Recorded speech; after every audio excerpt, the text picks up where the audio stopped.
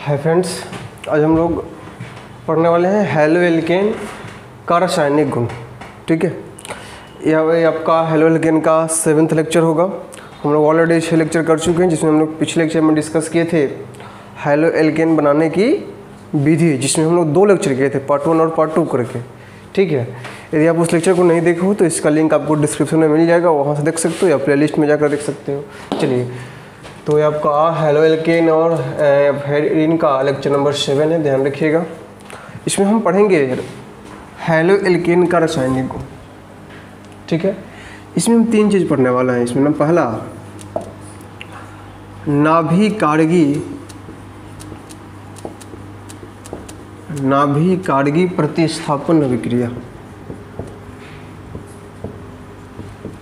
नाभि कारगी प्रतिस्थापन अभिक्रिया जिसको हम इंग्लिश में कहते हैं, न्यूक्लियोफिलिक सब्सिचुएशन रिएक्शन। इसी को हम शॉर्ट में कहते हैं S N reaction. S N reaction पढ़ेंगे अब पहला तो यह हो गया, दूसरा में हम पढ़ेंगे नंबर टू, विलोपन अभिक्रिया। विलोपन अभिक्रिया। जिसको हम हिंदी में कहेंगे इंग्लिश में कहेंगे इलिमिनेशन रिएक्शन। Elimination reaction. ठीक है? और तीसरा हम लोग पढ़ेंगे reaction with metal reaction with metal इसको हिंदी में बोलते हैं धातु के साथ अभिक्रिया। धातु के साथ अभिक्रिया। इसी में आपका ग्रिग्नाइट रिएजेंट आएगा। उर्ज रिएक्शन इसमें ही भी आएगा। चलिए। पहला हमारे पास नाभिक कारगी प्रतिस्थापन अभिक्रिया, यानी कि न्यूक्लियोफिलिक सब्सिचुएशन रिएक्शन दूसरा है आपका विलोपन अभिक्रिया, यानी कि एलिमिनेशन रिएक्शन और तीसरा है आपका रिएक्शन विथ मेटल यानी कि धातु के साथ अभिक्रिया। चलिए तो इसको लिखिए और लिखने के बाद हेडिंग डालिएगा, नाभिक कारगी प्रतिस्थापन अभिक्रिया। चलिए तो आई होप आप लोग लिख लिए हो, मिटाते हैं इसको। चलिए। नाभि कारगी प्रतिस्थापन अभिक्रिया क्या है? देखो। नाभि कारगी को इंग्लिश में क्या बोलते हैं? न्यूक्लियोफिलिक। और न्यूक्लियोफिलिक जो टर्म है, वह न्यूक्लियोफाइल से आया हुआ है, जिसको हम हिंदी में बोलते हैं नाभिक स्नेही। नाभिक स्नेही। ठीक है? याद कीजिए, इसी को हम एन यू माइनस रिप्रेजेंट करते थे। सब्सिचुएशन को हिंदी में बोलते हैं प्रतिस्थापन। प्रतिस्थापन का मतलब होता है कि एक जगह से दूसरे जगह चले जाना। ठीक है? प्रतिस्थापित हो जाना बोले तो। इसकी डिफिनेशन की नर्व सिंपली बात करें तो हम कह सकते हैं, वैसा अभिक्रिया, वैसा प्रतिस्थापन अभिक्रिया, वैसा प्रतिस्थापन अभिक्रिया। जिसमें जिसमें एक न्यूक्लियोफाइल आने से आने से दूसरा न्यूक्लियोफाइल बाहर निकल जाए। बाहर निकल जाए। उसी को हम बोलते हैं नाभिक कारगी प्रतिस्थापन अभिक्रिया। अब देखो, यहाँ पे जो वर्ड है ना एन यू माइनस इसी को हम शॉर्ट में क्या बोलते हैं? न्यूक्लियोफाइल बोलते हैं ना? ध्यान रखना। चलिए तो इस एग्ज़ाम्पल की बात करते हैं। जैसे कि मान लीजिए कि आपके पास आर है और यहाँ पे एक्स है। हम सभी जानते हैं कि आर एक्स को क्या बोला जाता है? इल्काइल हाइलाइट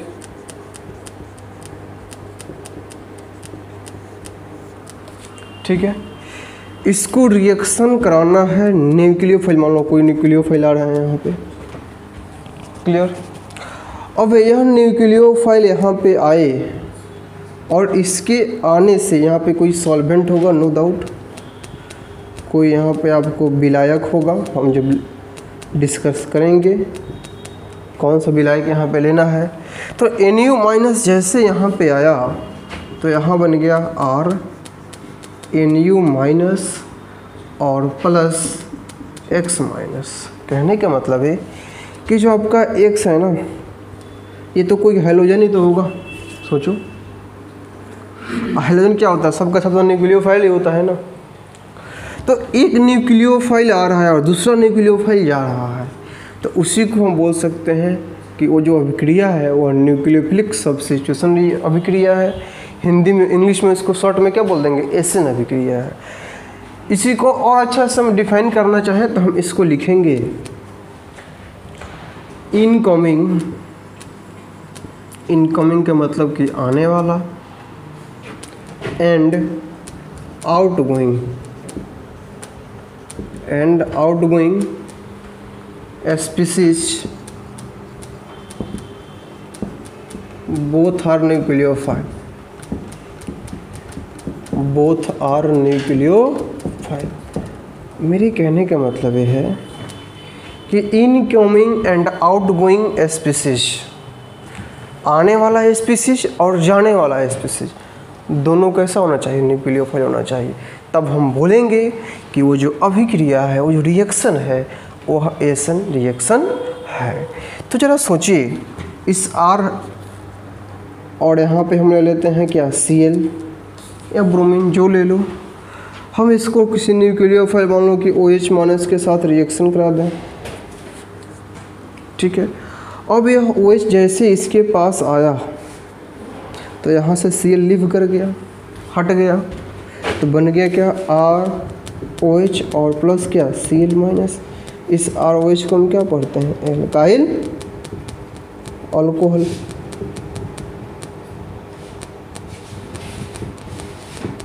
क्लियर सोचो, ये जो सी एल निकला हुआ है, यहाँ पे किस फॉर्म में है? सी एल माइनस है ना? मतलब न्यूक्लियोफाइल का काम। तो एक न्यूक्लियोफाइल आ रहा है दूसरा न्यूक्लियोफाइल जा रहा है। देखो, उसी चीज़ को जो न्यूक्लियोफाइल जा रहा है ना यहाँ से, जो जा रहा है उसी को हम बोलते हैं लिविंग ग्रुप उसी को क्या बोलते हैं?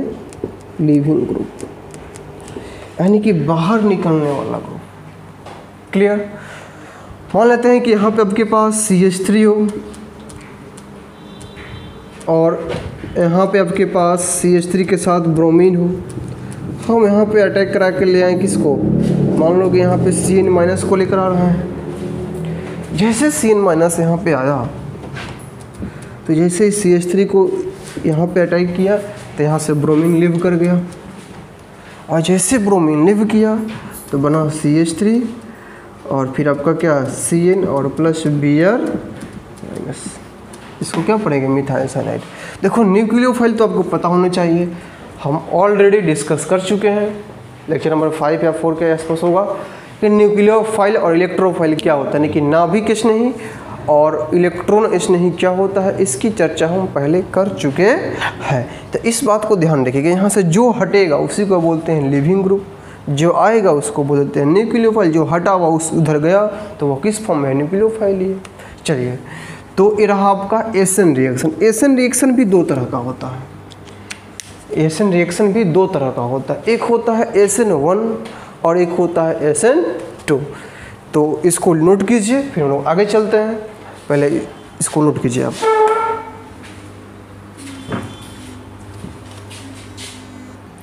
चलिए एक क्वेश्चन है, ध्यान रखना। क्वेश्चन कह रहा है कि निम्न में लोग बाद में एसन वन एसन टू देखेंगे, पहले क्वेश्चन देख लो। निम्न में एसन निम्न को कर लो, क्या दिक्कत है? निम्न को एसन अभिक्रिया के घटते क्रम में घटते क्रम में सजाएँ। A number, R I, number B, R B R, number C, R C L और नंबर डी आर आपके पास चार ऑप्शन है फ्रेंड इस चारों में आपको देखना है कि एसन अभिक्रिया में कौन सबसे जल्दी दिखाएगा, कौन उससे कम, फिर उससे कम और सबसे कम। घटते क्रम में इसको अरेंज करना है। तो सोचो आर आई है आर बी आर है आर सी एल है और आर एफ़ है। Clear fluorine chlorine bromine iodine ऐसे लिख लो। फ्लोरीन क्लोरीन ब्रोमीन आयोडीन क्या पर दिक्कत है? ओएच को हम या न्यूक्लियोफाइल को सबसे अटैक करा रहे हैं। क्लियर समझना बात को।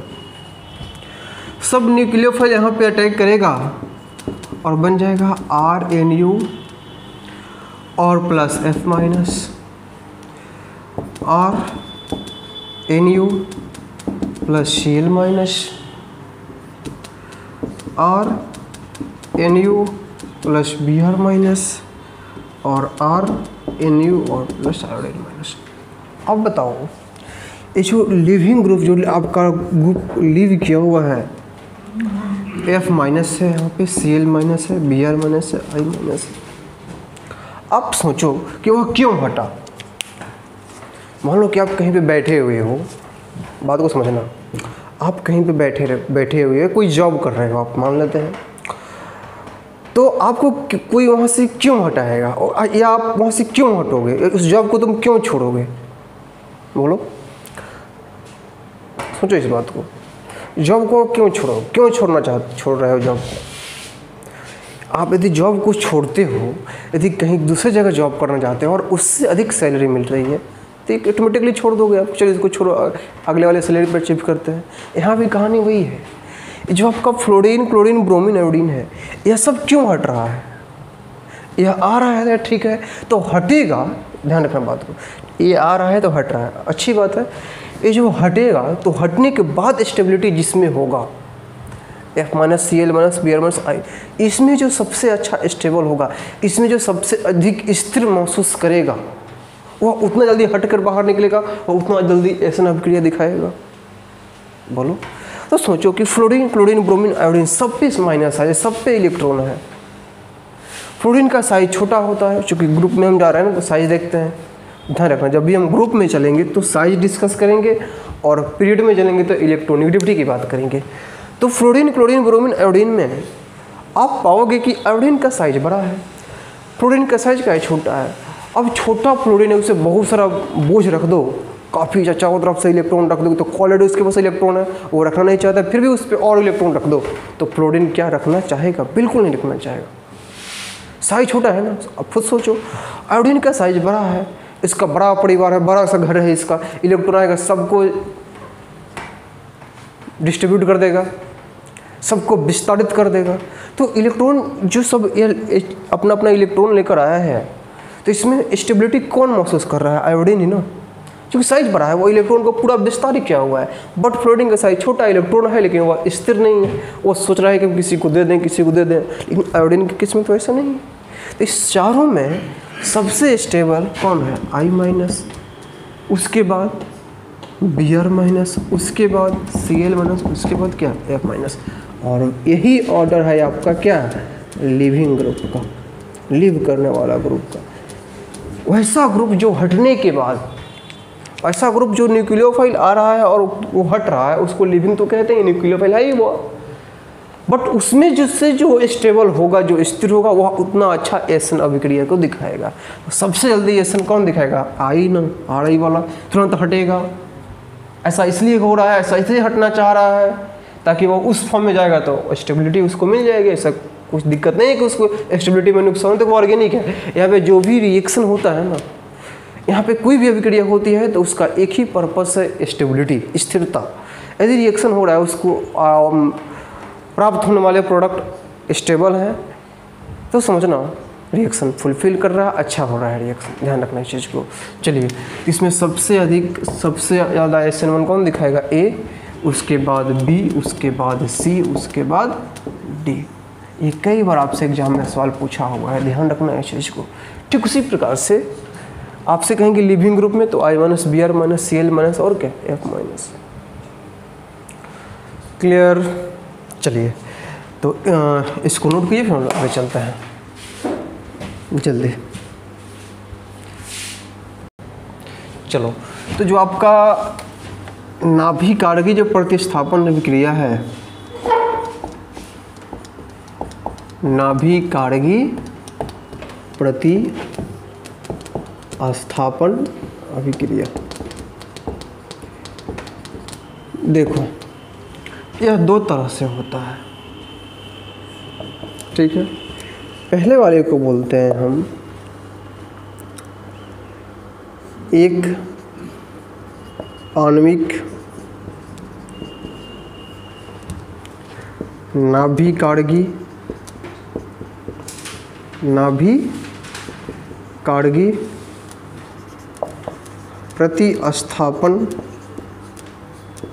अभिक्रिया। इसी को कहा जाता है इंग्लिश में unimolecular unimolecular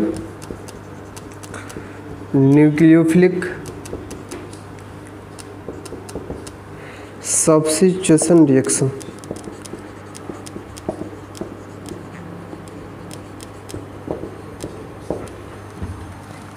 Clear? अब आ जाओ। दूसरा जो होता है, पहला तो यह हो गया। दूसरा जो होता है, वह होता है द्वि आणविक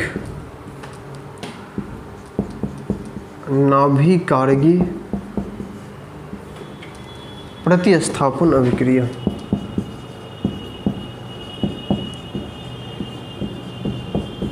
प्रतिस्थापन अभिक्रिया। इसको हम इंग्लिश में कहते हैं बाई मोलिकुलर न्यूक्लियोफिलिक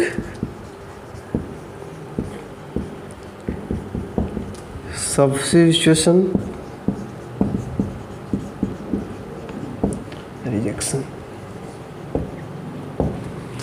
देखो, इस यूनिमोलिकुलर को और न्यूक्लियोफिलिक सब्सिट्यूशन देखो, यहाँ से न्यूक्लियोफिलिक सब्सिट्यूशन को तो आप बोल देखो क्या? एस एन और यूनिमोलिकुलर मतलब कि एक अणु, एक आणविक तो एस एन वन रिएक्शन बोल देते हैं शॉर्ट में इसको। ठीक है? और इसको शॉर्ट में हम बोल देते हैं S N two reaction clear क्योंकि न्यूक्लियोफिलिक सब्सिट्यूशन को आप एसएन तो बोल ही सकते हो और बाई मोलिकुलर दो मोलिक्यूल इन्वॉल्व होगा तो क्या बोल दिए हम? एस एन टू इसको आप इंग्लिश में क्या बोलोगे? तो न्यूक्लियोफिलिक सब्सिट्यूशन रिएक्शन शॉर्ट में SN रिएक्शन ठीक है? चलिए तो इसको लिखने के बाद आप डाल लीजिएगा heading unimolecular nucleophilic substitution reaction जिसको हम कहते हैं एस एन वन रिएक्शन ठीक है? तो इसको लिखिए, फिर हम लोग स्टार्ट करते हैं एस एन वन रिएक्शन क्या होता है। चलिए तो पहला है हमारा S N one reaction S N one reaction S N one अभिक्रिया। आइए इसकी बात कर लेते हैं। सबसे पहला चीज़ इसको अभी हम हिंदी में क्या बोले थे? एक आणविक नाभिकार की मतलब है कि इसमें एक अणु,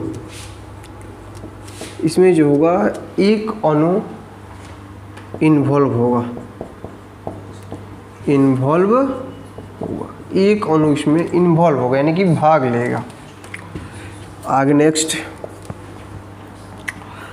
इसका जो रिएक्शन होता है, जो अभिक्रिया होता है। यह अभिक्रिया प्रथम कोटि की अभिक्रिया होता है। प्रथम कोटि की अभिक्रिया होता है, यानी कि first order reaction first order of reaction clear जब पढ़िएगा आगे इस फ़िज़िकल केमिस्ट्री में तो क्लास ट्वेल्थ में केमिकल काइनेटिक्स ये आप लोग पढ़ लिए हैं शायद आप लोग पढ़ लिए हो उस चीज़ को।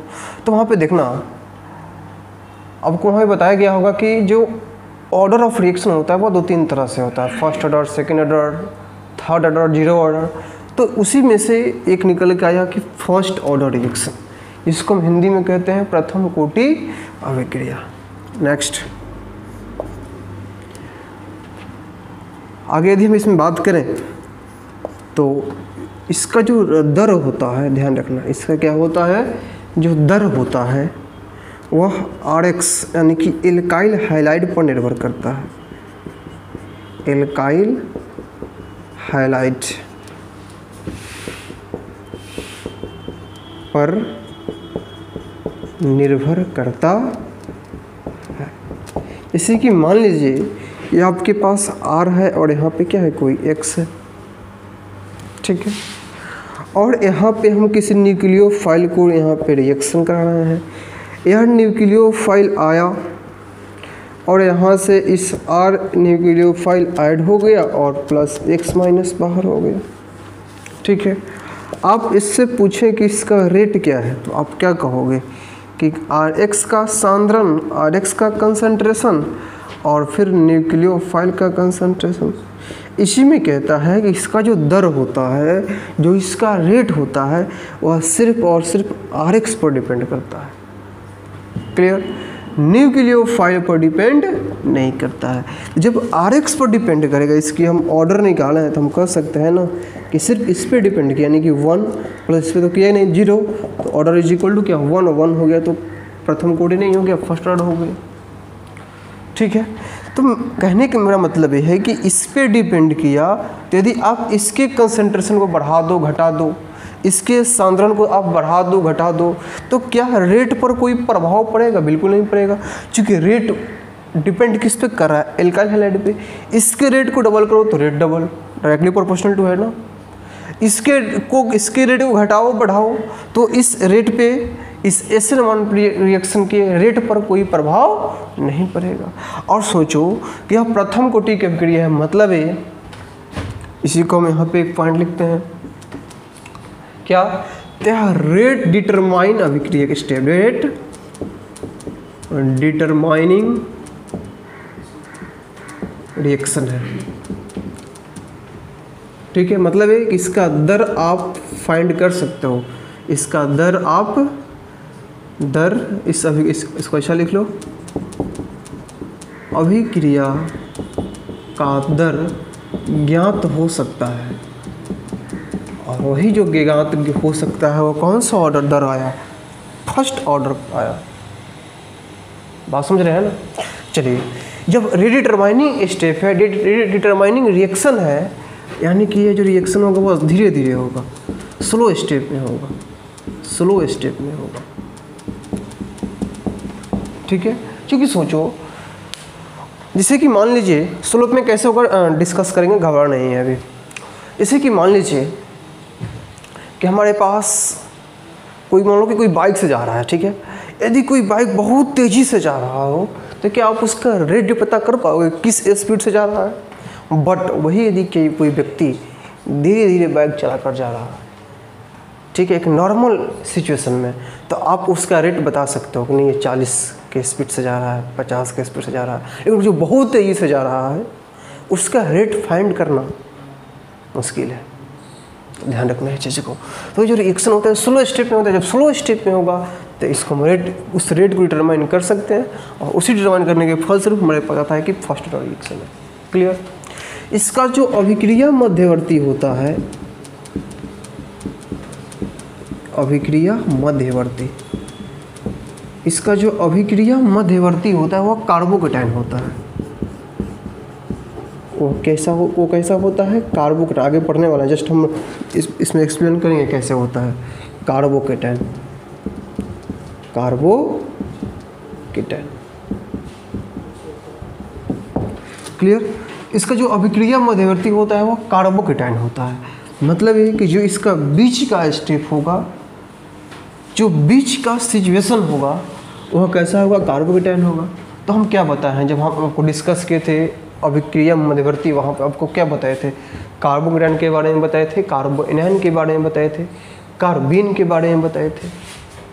तो वहाँ पे आपको क्या बताए थे? यदि कार्बोकेटाइन की ध्यान रखना, वहाँ पे आपको स्थिरता की चर्चा किए थे ना, कि रिएक्शन रिएक्शन इंटरमीडिएट की अभिक्रिया मध्यवर्ती, जितना ज़्यादा स्टेबल तो रिएक्शन का जो रेट है, जो रिएक्शन का जो प्रोडक्ट है, वो उतना ज़्यादा स्टेबल ये बताया था ना मतलब कि कार्बोकेटाइन की जो स्टेबिलिटी है, वो जितना ज़्यादा तो उसका जो रेट होगा, वो क्या होगा, उतना ज़्यादा. क्लियर चलिए तो इसको नोट कीजिए, फिर आगे चलते हैं. चलिए तो अभी हम क्या बता डिस्कस किए कार्बोकेटाइन की स्टेबिलिटी यानी कि कार्बोकेटाइन जितना ज़्यादा स्टेबल हो, उतना एस एन वन रिएक्शन का जो रेट होगा, वो उतना अधिक होगा। आपको डिस्कस करा चुके हैं कार्बोकेटाइन क्या होता है कार्बोइनाइन क्या होता है कार्बिन क्या होता है और फिर रेडिकल क्या होता है। तो वहाँ पे जाकर एक बार देख लेना उस चीज़ को, ठीक है? चलिए तो आखिर आगे भी हम इस चीज़ पर चर्चा करेंगे। तो आइए, एक अच्छा सा एग्ज़ाम्पल की बात करते हैं। जैसे कि मान लीजिए कि हमारे पास कुछ इस तरह से है सी एच थ्री और सी और सी और यहाँ पे के पास मान लो कि Cl है। इसको हम रिएक्शन करा दिए। एक न्यूक्लियोफाइल ले लेते हैं, मान लेते हैं कि ओ एच माइनस है। क्लियर तो यह आपको बन गया सी और फिर ऐसे कर लो इसको। सी एच थ्री सी और ओ एच और प्लस क्या हो गया? सी एल माइनस हो गया। ठीक है? देखो कैसे इसको सोचते हैं, ध्यान दो। यहाँ पे एक कार्बन इस कार्बन के साथ तीन सी एच थ्री है। तो C C H three C H three C H three और यहाँ पे क्या हो गया? सी एल हो गया। और प्लस ओ एच माइनस इसकी मेकनिज़म की बात कर लेते हैं। किसकी बात कर लेते हैं? मेकनिज़म की। इससे आपको पता चल जाएगा कि कार्बोकेटाइन कैसे आएगा कार कैसे बनेगा, और कैसे इसका रेट पे असर पड़ेगा। तो सोचो, ज़रा इसको और छोटा कर लो, चूँकि काफ़ी आगे जाने वाले हैं हम लोग ओ एच माइनस अब इस ओ एच माइनस को आपको अटैक कराना है, कैसे अटैक कराइएगा? देखिए, यदि आप इस ओ एच माइनस को इस फ्रंट से अटैक करा नहीं पाओगे, क्यों? क्योंकि यहाँ पे इस क्लोरीन खड़ा है। क्लोरीन भी तो एज इट इज़ एक फ़ाइल है ना। तो ओ एच माइनस आएगा सीधे से, जैसे क्लोरीन के पास तो क्लोरीन कहेगा कि तुम किधर आ रहे हो? हम तो हैं ही इस कार्बन के पास। और इस तुम रिएक्शन तो करा चुके हो तो इस ओ एच माइनस का फ़र्ज़ बनता है कि इस कार्बन के पास क्या करे? आई ऑटोमेटिक आ जाएगा। तो इधर से तो आएगा नहीं। इसको पहले ही यहाँ पे रुक दिया गया चूँकि क्लोरीन ने बोलेगा कि इसका न्यूक्लियोफाइल का जगह पे तो हम ही, तुमको आने क्या आवश्यकता है। तो इधर ये तो सामने से तब आएगा नहीं। अब जो एच माइनस जो होगा, वो सोचेगा कि हम इधर से चलते हैं। तो इधर से चलेगा तो इसको देखो सी एच थ्री आपको दिखाई दिया ना। C H H H bulk बड़ा सा ग्रुप है। या और आगे चल जाओ तो C H two C H three कर दो।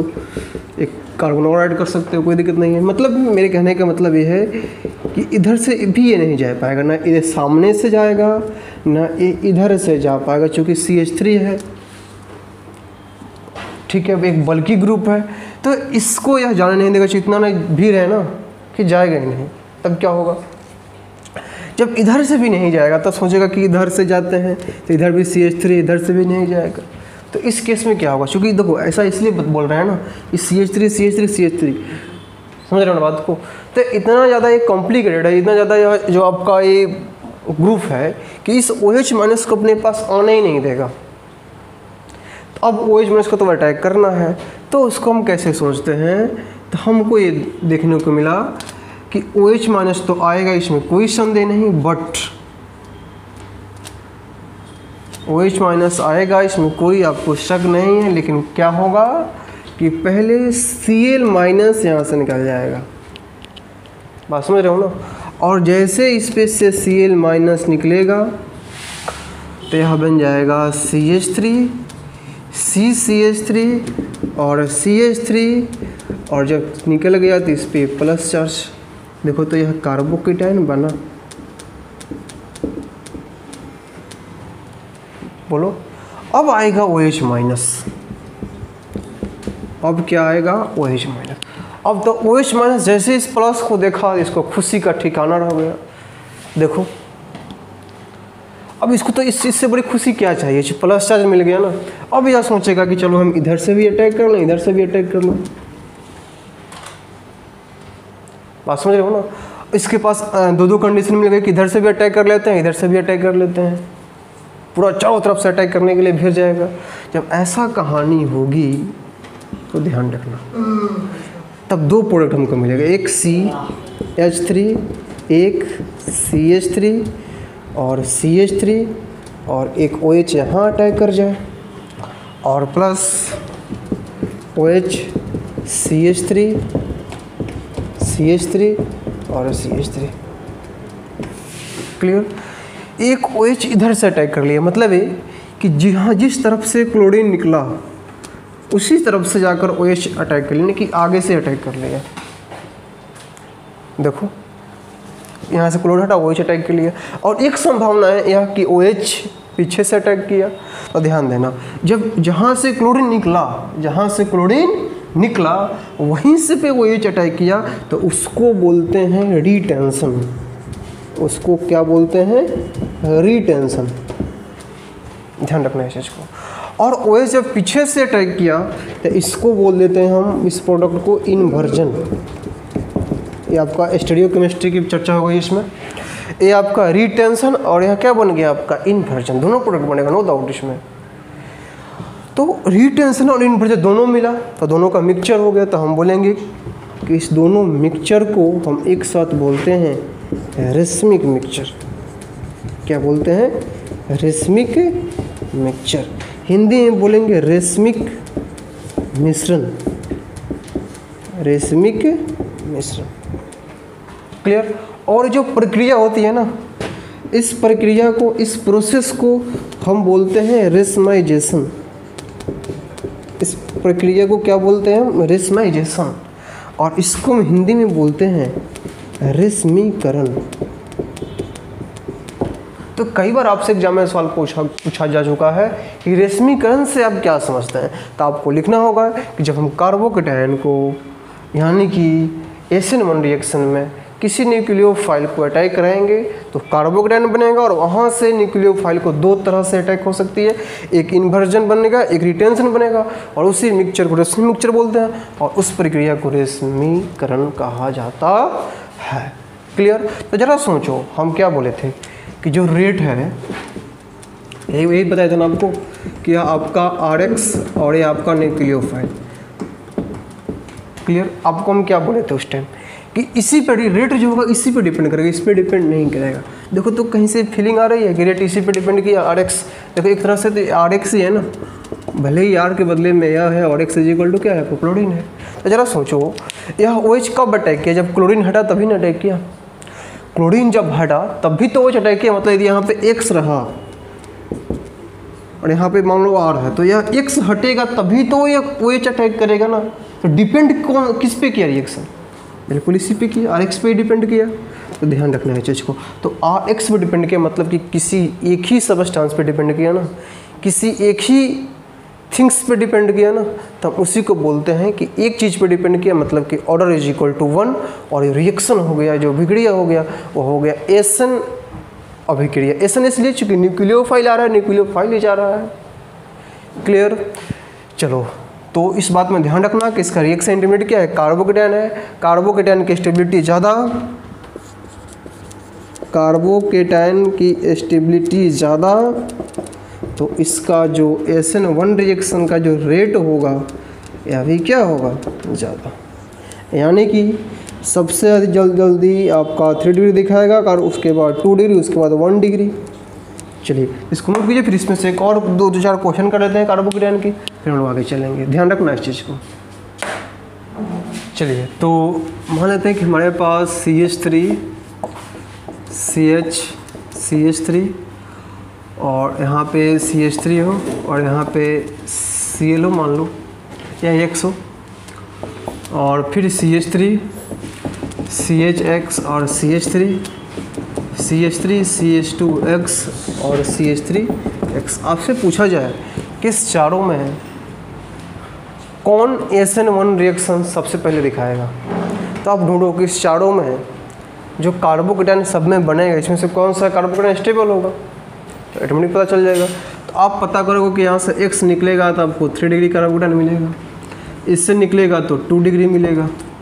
इससे निकलेगा तो वन डिग्री मिलेगा, वही तो मिथाइल है ही। मतलब है कि सबसे जल्दी एन वन थ्री डिग्री वाला दिखाएगा स्टेबिलिटी फिर उसके बाद टू डिग्री की, फिर उसके बाद किसकी? वन डिग्री की। क्लियर ऐसा भी क्वेश्चन आपसे एग्ज़ाम में पूछे जाते हैं। है।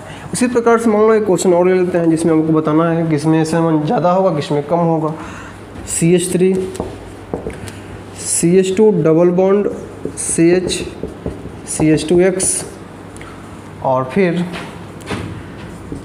C H three C H three और फिर आपका यहाँ पे एक्स और एक और लेते हैं, मान लो कि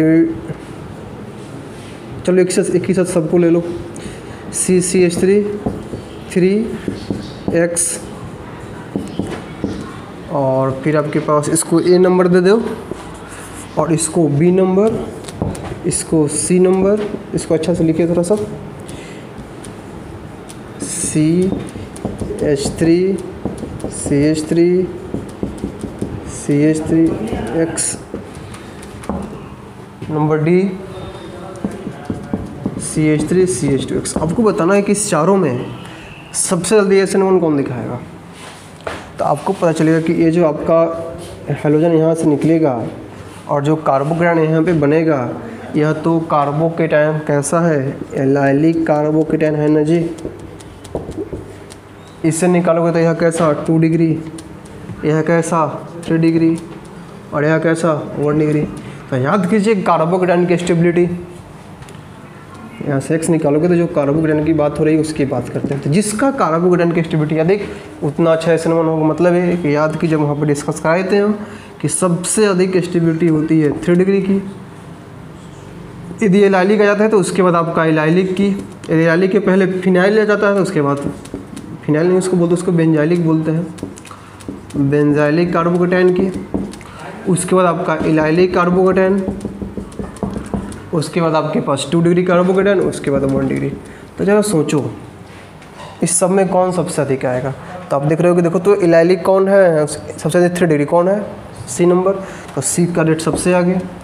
उसके बाद कौन है? बेंजालिक तो बेंजालिक तो इसमें है ही नहीं बट एलाइलिक है, कौन सा है सी अब एलाइलिक क्या होता है? हम डिस्कस करा चुके हैं कि जब हेलोजन ग्रुप जिस कार्बन से अटैच हो, वह कार्बन एस और उसके आगे वाला कार्बन कैसा हो? एस पी टू उसी हाईलाइट को तो हम बोला करते थे ना, एलाइलिक हाईलाइट याद कीजिए। और यहाँ पे जो कार्बोकेटन अरेंज हो गया, इसको क्या बोल दिया हम? एलाइलिक कार्बोकेटन तो सी उसके बाद क्या हुआ आपका? ए और फिर बी और फिर क्या हो गया? डी तो सबसे अधिक एस एन वन दिखाएगा आपका सी क्योंकि इसका रिएक्शन इंटरमीडिएट सबसे अधिक स्टेबल उसके बाद ए उसके बाद बी उसके बाद डी चलो एक और क्वेश्चन ले लेते हैं। मान लो कि कहाँ पे ए नंबर में सी एच टू और एक सौ और यहाँ पे आपके पास सी एच थ्री थ्री और सी एक्स और फिर C H three C H और एक्स सी एच थ्री देखो तो यहाँ से हटाओगे तो क्या होगा? सी एच इस पर प्लस आएगा ना। इंडाटर कर क्या हो गया? बेंजाइलिक कार्बोकेटाइन यह क्या होगा? थ्री डिग्री कार्बोकेटाइन और यह क्या होगा? टू डिग्री देखो तो। सबसे आगे कौन एस्टिबिलिटी में? थ्री डिग्री हालाँकि पहले ही करा चुके हैं हम, ध्यान रखना चीज़ को। तो सबसे आगे किसको रखोगे? ए बी ए इसको क्या मान लो? सी मानो। तो सबसे आगे कौन आ गया? बी उसके बाद आ गया आपका ए उसके बाद आ गया क्या? सी ऐसा क्वेश्चन आपसे एग्ज़ाम में पूछे जाते हैं। चलिए तो इसको नोट कीजिए। ये आपका एस एन वन रिएक्शन पूरा डिटेल्स में। हम लोग अगले लेक्चर में डिस्कस करेंगे S N two thank you